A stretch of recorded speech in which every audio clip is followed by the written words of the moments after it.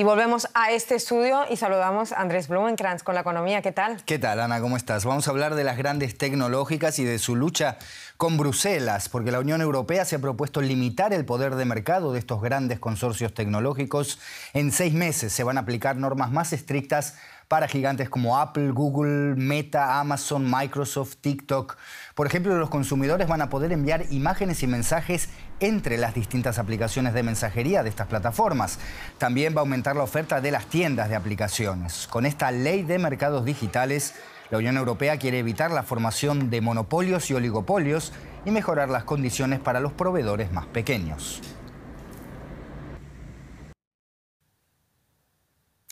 Nuevas reglas para los gigantes tecnológicos en la Unión Europea. Hablamos sobre esto ahora mismo con José David Navarro en la Bolsa de Frankfurt. José, Bruselas dice que seis grandes tecnológicas concretamente son demasiado influyentes y que tiene que haber cambios en los servicios que ofrecen. ¿Cuáles son los más importantes y cómo lo notaremos los usuarios? Hola Andrés, ¿qué tal? Bueno, uno de los mayores cambios es que, por ejemplo, si compramos un iPhone de la marca Apple, podremos descargar aplicaciones que no sean diseñadas por la propia marca o eh, seleccionados por ellos, sino que haya la opción de descargar o de utilizar lo que se conoce como otras eh, App Stores, es decir, tiendas de aplicaciones.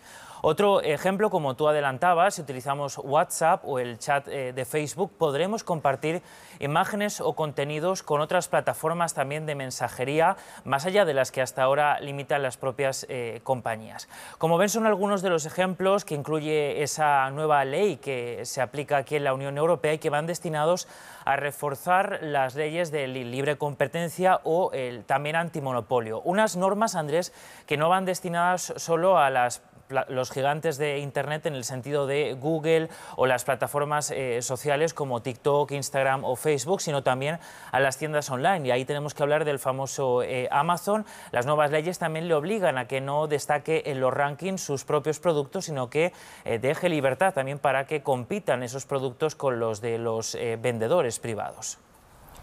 José, esta es otra decisión de Bruselas que obliga a las grandes tecnológicas a aplicar políticas diferentes en cuanto a datos y servicios comparado con lo que hacen en su mercado de origen en Estados Unidos. TikTok y Apple han mostrado ya su descontento con estos cambios y aquí puede abrirse un nuevo conflicto entre Bruselas y estos gigantes. ¿Cuáles son las multas previstas en caso de un incumplimiento, José? Sí, Andrés, eh, ya sabemos que nunca se suele llegar ¿no? a las tasas máximas de aplicación de una, de una multa, a pesar de que estas compañías ganan trimestralmente miles de millones de, dólares. Pero existe ese margen de que la multa máxima podría alcanzar, Andrés, el 10% de la, eh, las ganancias globales y, si es reincidente, hasta el 20%. Como tú decías, ya hay empresas que se han quejado, una de ellas es Apple, alegando motivos, dicen ellos, de seguridad. Dicen que si abren sus dispositivos a otras App Stores, podrían exponer a los eh, clientes de, eh, la, de la marca de la manzana a riesgos de seguridad. José David Navarro en la Bolsa de Frankfurt, gracias, hasta cualquier momento.